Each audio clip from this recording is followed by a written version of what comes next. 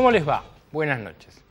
Este miércoles, en la ciudad de Buenos Aires, concretamente en el Congreso de la Nación, se puso en discusión todas estas cuestiones, las reformas que el gobierno quiere avanzar, y hubo una protesta muy fuerte de algunos organismos eh, sociales, de partidos políticos, de un sector de la CGT muy chiquito, el de Pablo Moyano, pero de las dos CTA, una movilización fuerte.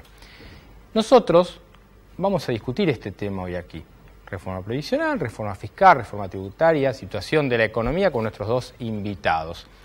Ahora, lo que yo digo es, cuando hacen estas protestas que hacen que la gente esté, por ejemplo, yo para llegar al canal tuve que estar una hora y media, pero en todo caso yo venía a hacer este programa, es lo de menos. Digo, pero yo cuando estaba esperando para llegar y haciendo esperar a mis invitados, al lado no tengo a millonarios que están yendo a ver cómo su estancia eh, le va bárbaro o le va más o menos, aunque tampoco tienen el derecho, eh, porque estos hombres, en todo caso que estuvieran ahí al lado mío, este, perder tanto tiempo de su vida. Hay fletes, trabajadores, ambulancias, camiones, taxis, eh, remises, colectivos, un montón de gente que por estos dirigentes sindicales pierde un montón de tiempo de su vida, porque el trabajador que está yendo en un colectivo y que a veces tiene una hora y media para llegar a su casa, hoy por ahí tuvo que estar dos horas y media arriba del colectivo. Esto significa que una persona está entre tres y cinco horas fuera de su casa, al margen de lo que está fuera de su trabajo. Entonces, esto también es faltar el respeto a la gente. Acá, por ejemplo, vamos a discutir, yo no voy a estar de acuerdo en todo lo que diga Semino ni en todo lo que diga José Urtubey, pero así son los debates en la democracia. Acá hay un tema de derechos que se invaden y que se burlan. Y los burócratas sindicales, muchos de los que estaban hoy en esta movilización, no todos de ninguna manera, diría que la minoría, siempre se burlan de lo que le pasa al trabajador. Les propongo algún día a estos dirigentes, súbense un colectivo, algo que no saben, no tienen ni idea lo que es, y escuchen a la gente lo que dice de las movilizaciones y de las protestas en el obelisco, en cualquier lado de la ciudad. Un poquito de democracia, un poquito de calle, no les vendría nada mal a alguno de estos burócratas. Vamos a hablar primero con el doctor Eugenio Semino. ¿Cómo está? ¿Qué tal, Pablo? Bien. A, ver, eh, el tema de la reforma previsional está en discusión y es mala. Eh, en, esta, en este mismo lugar estuvo hace una semana Gabriela Michetti defendiendo que era necesario achicar esta cuestión porque había eh, una cifra enorme, 100 mil millones de pesos, que había que, que, como no quedaba otra cosa, que había que ir a ajustar ahí alguna cuestión ¿Esto es así? ¿Esto es mentira? ¿Esto es un discurso? No, yo creo que es una vieja práctica acudir al recurso de la seguridad social, es dinero fresco, es una de las cajas más importantes que tiene el país y que hoy menos control tiene, en términos, digo hoy no literalmente en este momento, sino a través, diría, del 2007 para acá y lo que es el movimiento del Fondo de Sustentabilidad y Garantía, que es un fondo que se ha usado eh, para casi todo menos para los jubilados.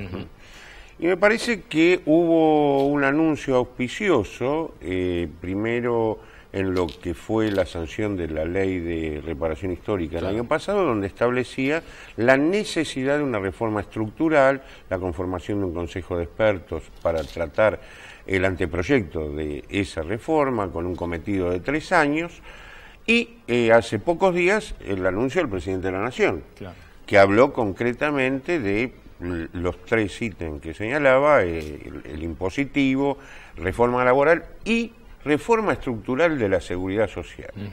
Y realmente, eh, ¿por qué digo auspicioso? Porque hay un problema nuclear en la seguridad social, en lo previsional, eh, también la salud tiene, atraviesa este, el mismo drama, pero en términos de lo previsional, tenemos 3 millones, más de 3 millones de jubilados y pensionados que están conforme la canasta que nosotros venimos calculando hace 10 años, eh, no pudiendo cubrir más de un 30 y pico de sus necesidades básicas. ¿Cuánto está esa canasta hoy? ¿Cuánto necesita el jubilado para, para poder comprar remedios, para poder comprar lo básico? En la última medición, canasta que contiene gastos de vivienda y que aclaro es muy elemental, nos dio 17.500 pesos. ¿Pero cuántos jubilados ganan esa plata?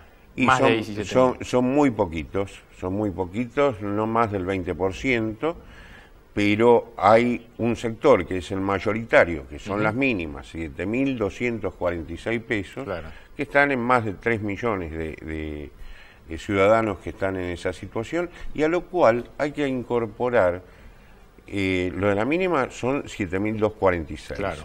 Pero los discapacitados, sobre todo, que tienen pensiones no contributivas y que su haber está en relación a las mínimas, ganan 5.700 pesos. Vale decir, en la Argentina nadie puede suponer que se puede... Ahora, el, doctor, el ombudsman se le da un especialista en todo este tema y yo tengo que preguntarle, a ver, vamos a suponer que usted está sentado no en la Defensoría del Pueblo, sino en una cuestión ejecutiva y dice, bueno, yo tengo que modificar la realidad de estos que ganan 7.200 hasta 17.000, primero que nada. Ahora, es cierto que no se puede hacer magia, que no se resuelve de un día para el otro diciendo, bueno, yo les doy un 25% de aumento, que ni siquiera este, les solucionaría la vida, pero eso es una, una cifra sideral que tiene que el Estado resolver de algún modo. ¿Cómo se hace para modificar Mira, se trató en muchos países, bueno, y me tocó participar en, varios acuerdos, en Copenhague, en, en, España, en lo que fue el Pacto de Toledo, en el 94, ante crisis del sistema de esta calidad. Y lo primero que se hizo es que se juntaran las fuerzas políticas. Me recuerdo en aquel momento en Toledo estaba Aznar por el PP, estaba Anguita por Izquierda Unida, el PSOE, las autonomías, las tres centrales de trabajadores y convinieron cuál era el problema.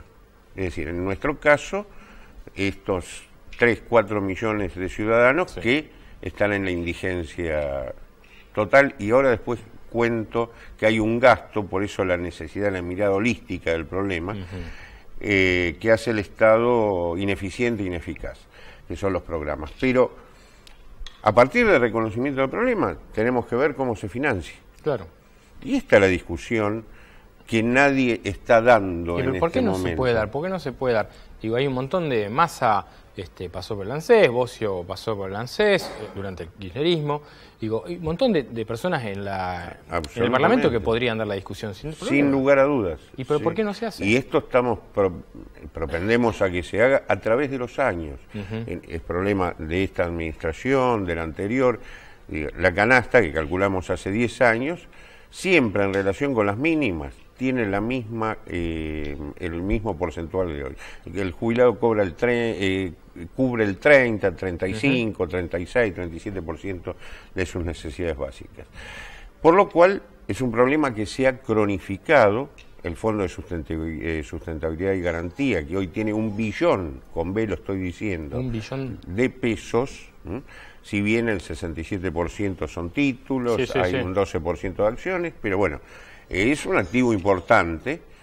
Eh, hay que ver cómo se lo utiliza. El lugar más seguro para ese dinero siempre es el bolsillo del jubilado porque lo recicla en el mercado interno. Por lo que hacía kirchnerismo era decir, bueno, vamos a hacer tal programa, algunas cuestiones muy, muy loables, pero recurría, manoteaba a esa, esa plata. Así es. Entonces yo siempre decía, bueno, pero no toquemos la plata de los jubilados, buscamos otra manera para necesidades que no dudo ni siquiera el plan conectar, igualdad, cualquiera de eso. Y uno tiene la sensación por simple lector de diario, que eh, hoy se vuelve a hacer lo mismo, es decir, se vuelve a requerir con un supuesto ahorro el recurso del sistema para el acuerdo fiscal con provincias, es decir, para tapar un agujero impositivo que van a generar los cambios de alícuotas y demás, se vuelve a los 100 mil millones de jubilados. Y entramos en discusiones absolutamente patológicas, periféricas. Un día discutimos la edad, otro día eh, regímenes de privilegio, que por otra parte están prohibidos por ley nacional desde 2002. Eh, hablamos de un 82% móvil trucho, es decir, sobre el salario mínimo vital y móvil, es decir, que por definición no es así, y eh, la movilidad. Y hay una tensión con el tema de la movilidad. La movilidad, digamos, porque el jubilado quienes hacemos asistencia directa, viene el jubilado y nos pregunta todos los días, eh, ¿nos van a sacar plata? ¿Vamos a recibir menos? En realidad, en términos de lo individual, eh, si con la ley vigente iba a tener un reajuste de un 10%, es decir, 700 pesos, el reajuste en marzo con las nuevas fórmulas va a ser la mitad, 350, 400 pesos. Digo que la discusión es eh, hasta perversa desde lo gerontológico, porque tenemos a alguien cuero en la Antártida y estamos discutiendo si le ponemos una camiseta o dos. Es decir, se nos murió congelados en la discusión. Doctor, dos, preguntas finales. Eh, ¿Cómo está el PAMI? El PAMI con enormes dificultades, si me permitís, concluyo la idea anterior. Sí. Nosotros terminamos ahora una investigación de hace dos años con pasantes. El Estado en el que menos gana, en el jubilado que menos gana, es en el que más gasta.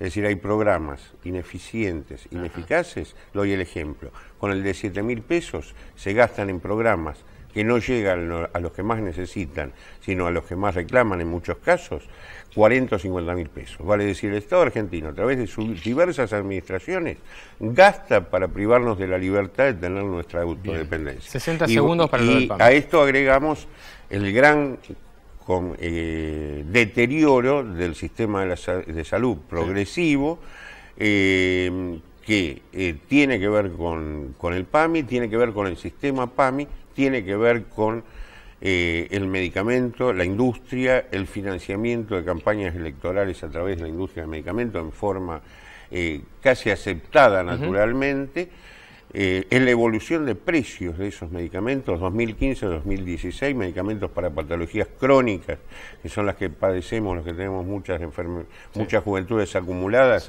aumentaron el 170%, mientras la inflación en, medio, en el mismo periodo fue del 70%.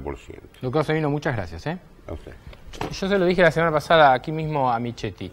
Ustedes, por Cambiemos, por el PRO, han ganado un montón de elecciones con el voto de los jubilados Macri tiene muchos votantes jubilados. Hoy hay muchos jubilados enojados por esto que decía Semín recién, porque le han tocado el magro salario, la magra jubilación que tienen. Ya venimos con José Urtubey aquí en Las Cosas Como Son.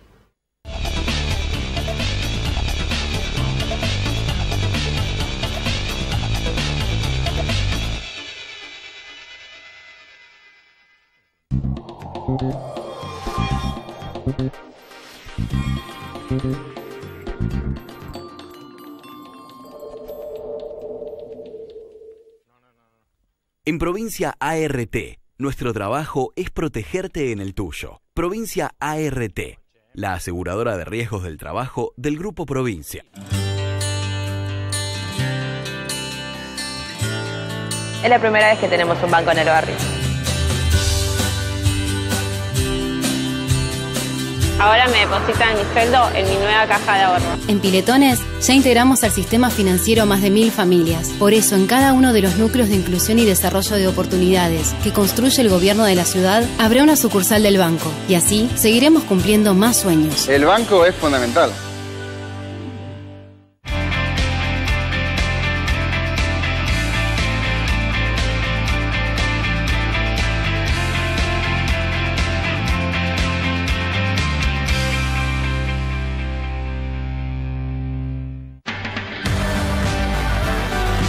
Desarrollando talento, desarrollamos futuro.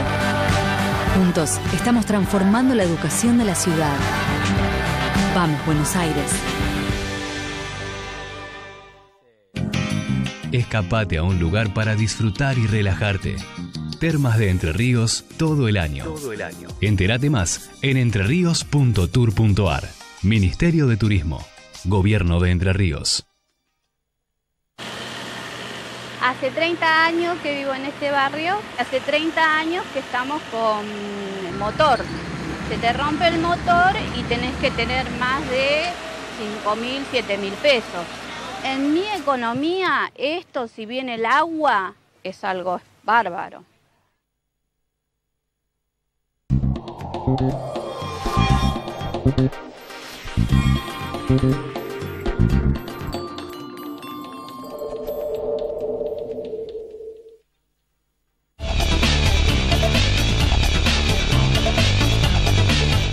Muy bien, estamos hablando de las distintas reformas, primero la previsional y vamos a hablar de la economía y de las otras reformas aquí con José Urtubey. Gracias por venir. ¿eh? Gracias Pablo por invitarme. Bueno, a ver, ¿cómo ves esta cuestión de las propuestas del gobierno? Ya sé que son reformas muy grandes, muy abarcativas, pero ¿cómo lo estás viendo? Mira, en primer lugar creo que eran necesarias encarar reformas estructurales de fondo porque obviamente la competitividad lo, así lo necesitaba, por un lado, la competitividad de la economía en la Argentina, por otro lado, también vimos una recuperación en estos tres, cuatro meses últimos, pero para que esto se pueda dar en el tiempo eran necesarias. Yendo a la impositiva, hay aspectos positivos, entre ellos la posibilidad de ir deduciendo algunos impuestos distorsivos, como el cheque sobre algunos otros impuestos, la posibilidad de tener un tratamiento diferencial en términos tributarios a la reinversión de utilidades, la posibilidad, por supuesto, también de eh, vos poder, eh, sobre una matriz productiva y en términos eh, tributarios, ver una disminución. También hemos visto algunas luces amarillas en las economías regionales. ¿Cómo qué, por ejemplo? Hubo una, un retroceso sobre la industria vitivinícola, por suerte, no así en la cadena de valor del azúcar, en donde todavía impuestos internos han subido al 17% en vez de haberse bajado. Por otro lado, creo que también el decreto 814 que permite la compensación de cargas eh, previsionales sobre cargas sociales sobre el IVA, eso antes era una herramienta y es una herramienta muy importante para el norte, sobre todo, para em, fomentar el empleo con una visión federal y que hoy ya no estarían en, lo que es la matriz productiva, la posibilidad de eximirse de eso. Pero el gobierno escucha estos reclamos que, por ejemplo, ustedes le pueden hacer desde la Unión Industrial, de otros sectores, o no escucha. Mira, el diálogo es bueno, hemos tenido reuniones permanentemente con los ministros, algunas cosas han retrocedido, las otras tengo la expectativa que en el Congreso sean revisadas. Este, ayer nosotros tuvimos una conferencia anual de la Unión Industrial y estos planteos estuvieron sobre la mesa, con lo cual espero que pueda haber un ida y vuelta sobre Pero Peñales dijo, se tienen que ayornar, se tienen que modernizar. Sí, pero yo le diría que también, ah, ojo, eh, la industria se viene invirtiendo muchísimo. Nosotros venimos de cuatro años de estancamientos o caídas. Sin embargo, hemos mantenido la fuente de trabajo, hemos estado diversificando. Creo que hay que tener, y sobre todo ahora que también se habló mucho ayer, la integración inteligente al mundo, la integración regional, por ejemplo, de lo que es el acuerdo Mercosur. Unión Europea, hay que tener en cuenta también la matriz productiva sobre la cual nosotros estamos operando. ¿Eso les preocupa el acuerdo con la Unión Sin Europea? Sin duda, porque tenemos muy poca información muy poca información sobre el mismo y creo que hay un sinnúmero de aranceles que tendremos que entender. Y ojo, es algo que también comparten empresarios brasileños, la desinformación. Y eh, según Cabrera, el ministro sostuvo que al mes de diciembre iba a haber una suerte de acuerdo. Ahora, uno de los grandes problemas que tiene la Argentina es el tema de la, gran cantidad de economía en negro que hay porque esto genera un montón de cuestiones informales, no solo de elevación, sino un montón de trabajadores que, que, que viven, tienen toda su economía en negro. Esto ¿Vos ves que esto se va a modificar? ¿Se está modificando o estamos igual? Para ponerle una cifra, hay un 40% de informalidad en la economía y casi un 35-38% de empleo informal. Esto tiene que ser revertido, hay que dejar de cazar en el zoológico y empezar a, hacer un sistema tributario acorde y eh, que permita incentivar a la gente a tributar. Es decir, ese 40% tiene que empezar a tributar. Es la forma de generar recursos para bajar la presión tributaria. Claro. Por un lado eso. Por otro lado, en el empleo, yo creo que sin que signifique conculcar derechos adquiridos de los trabajadores, ni mucho menos, pero sí hay que hacer una normativa moderna que incorpore todo lo que son los avances tecnológicos, la globalización, y en alguna medida todavía estamos con una normativa de la década del 70. Entonces, en alguna medida creo que el debate es válido en el Congreso, que es la caja de resonancia natural democrática para hacerlo, y tenemos que, entre todos los sectores, poner lo nuestro para ir a un sistema moderno. Bien. Muy bien, este programa tiene un cierre especial que presentamos de esta manera.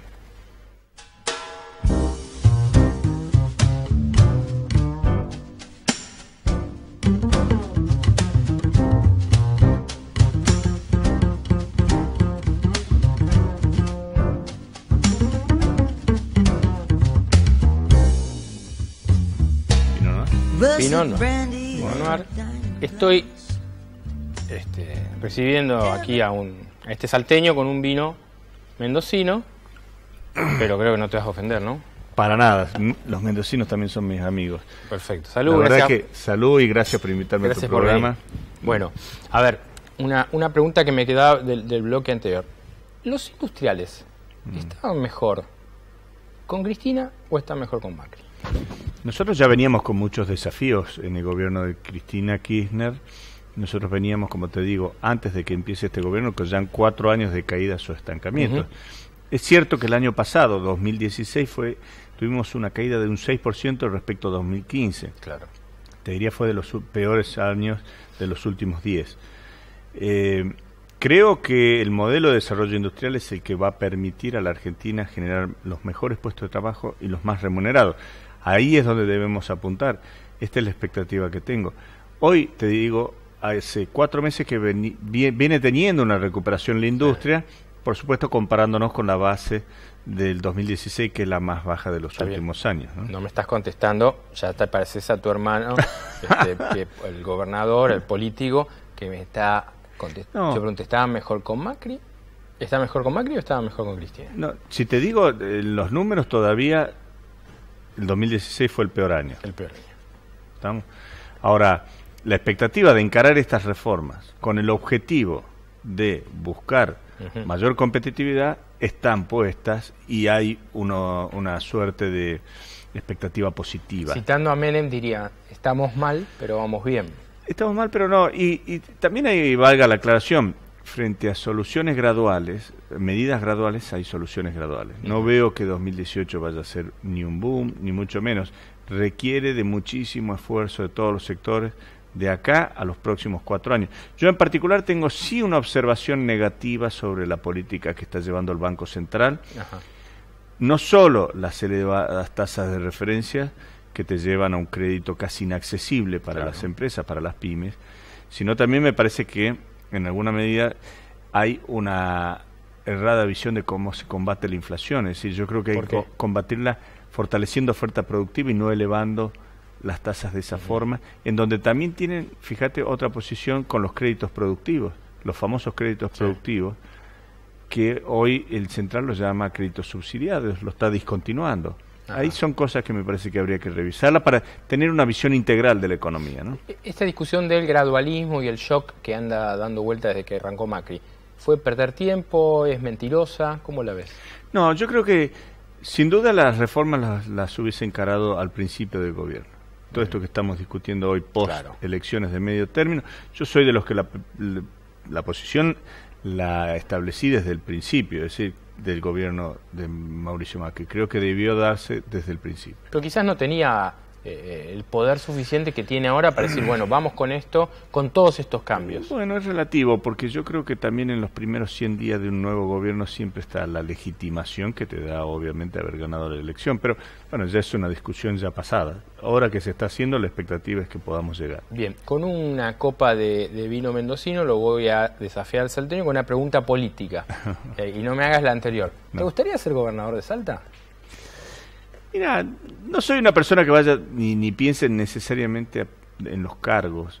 Me gustaría, y de la forma en que lo vengo haciendo, aportar soluciones a Salta desde el metro cuadrado que me toque. Hoy estoy en lo que es la gremial empresaria. Si el día de mañana puedo aportar algo más desde la política, lo haría. A ver, porque el tema es que Juan Manuel Urtubey ya no tiene eh, reelección, re-reelección en Salta, ya dijo que era su último mandato, que va a aspirar a la presidencia, y uno de los nombres que circulan en la política, en los pasillos políticos, es el, es el tuyo. ¿Te molesta eso? ¿Te gusta? Me, mira, te diría, eh, en realidad mi mayor preocupación es la gremial empresaria, buscar desde el norte que se tenga un reconocimiento de un país federal, una industria federal. En Salta la industria representa el 2,5% de la capacidad industrial instalada del país. O sea, todavía nos falta muchísimo que se hagan las obras de infraestructura del Plan Belgrano. Esto es lo que hoy me preocupa. No me, ni, me es indiferente si cuál es la especulación que puede haber sobre mí a futuro. Pero estás en Salta bastante de la sí, vivo allá, vivo allá y, es un lugar al cual no solo amo, sino que soy de pertenencia de, ahí, así que quiero lo mejor para Pero alguien te dijo, bueno, vamos a hacer una caminata por acá, vamos a hacer Sí, me, me viven invitando permanentemente y voy en la medida que puedo, voy a todos lados que me invitan. Ah, vas a todos lados. Sí, sí, cuando me invitan voy. Entonces la expectativa puede estar en tu futuro. Sí, pero como te digo, no necesariamente, por ahora lo, lo objetivizo en un plan de desarrollo o un plan de buscar una hoja de ruta clara para, para estos temas. Si eso después tiene alguna mejor eh, repercusión sobre la política en donde yo pueda actuar, lo haría. Por ahora no, no, no es algo que estoy pensando. José, gracias por venir y la discusión la vamos a seguir, ¿eh? Porque con, con otro vino salteño. La bueno, eso es lo que que traer Nosotros ponemos vino de Bodega Esmeralda. El salteño yo la próxima te traigo salteño. Bueno, gracias, ¿eh? Gracias, querido. Muy bien, nosotros nos despedimos, nos encontramos el miércoles que viene y como siempre brindo por Isabela.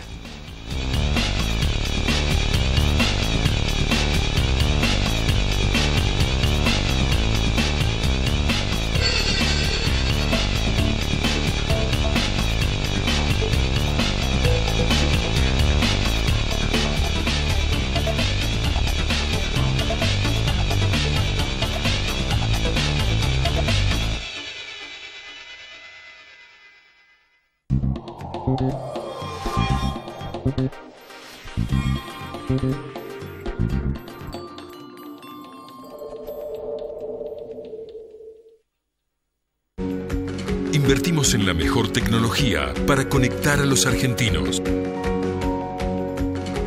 Grupo Telecom.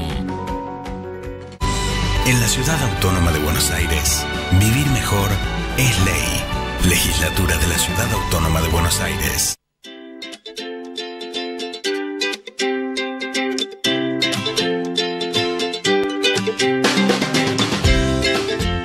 Grupo Petersen, desde 1920, construyendo el país.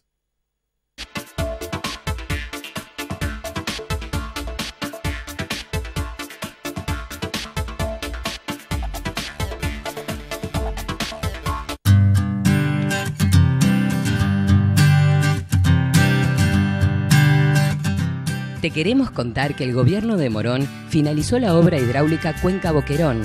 Esta obra histórica mejora la calidad de vida de más de 40.000 vecinos del distrito, evitando inundaciones en Morón Centro y Sur. Trabajamos para vos. Morón Gobierno.